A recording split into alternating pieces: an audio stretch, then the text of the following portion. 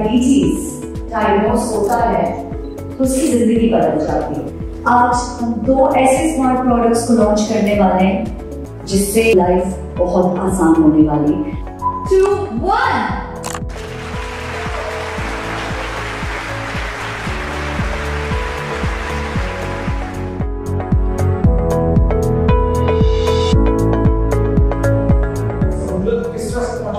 सकते हैं उसमें आप उसको अवेयरनेस दे सकते हैं। coming back to this launch, I think uh, as a diabetic patient, मैंने ऐसी चीज़ अब तक दुनिया में देखी नहीं है।